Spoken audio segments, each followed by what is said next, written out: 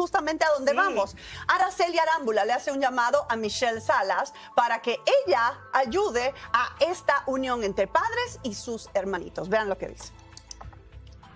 Aunque mis hijos ahorita no están, ojalá que ellos, ellos dos, Michelle y Alex, aboguen también, porque el papá eh, tenga comunicación y convivencia con sus otros dos hijos varones.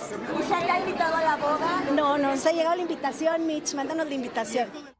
Bueno, mira, más allá de la invitación, creo que la boda no tiene nada que ver en esto, sino creo que lo importante es que, que Luis Miguel lo que quiere más es ver a sus hijos. Y ya que Araceli conoce a Michelle, por ejemplo, sería buena idea de que Araceli le permitiera a Michelle llevar a sus hermanos a ver a su padre en algún concierto, en algún lugar, ya que están en Estados Unidos y crea que pudiera llevarse a cabo esa linda reunificación, porque quiero reiterar, que Luis Miguel los ama, que lo que quiere es verlo y tener a sus hijos cerca. Pero mira, perdón que, que interrumpa. Sí. Eh, o sea, los niños tienen 14, 16 Sí, años. exactamente. Y yo me imagino que, no lo sé, ¿verdad? Eh, pero el mayor debe tener un celular probablemente. Ajá. Entonces creo que no es tan difícil esa comunicación, Mirka. Yo creo que va a suceder. Bueno, pero debería haber sucedido. O sea, el padre Antes- puede levantar el teléfono y llamar por teléfono Yo, a yo les sus voy a decir hijos. no- no no se trata ni de. Luis Miguel ni Araceli. Yo les voy a decir algo muy importante. Han pasado 16 años, 14 años.